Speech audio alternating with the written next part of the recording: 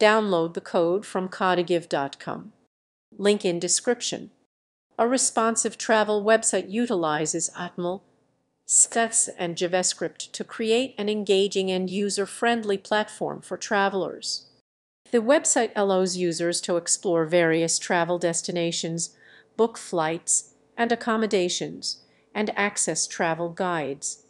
By employing HTML for structure, for styling, and JavaScript for interactivity, the website adapts seamlessly to different screen sizes, ensuring an optimal experience on both desktop and mobile devices. Free source code for such a website is often available on platforms like GitHub, enabling developers to customize and enhance their projects.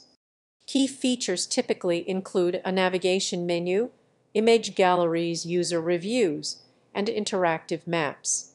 Additionally, incorporating Apis can enrich the functionality, providing real-time data on flights, weather, and local attractions.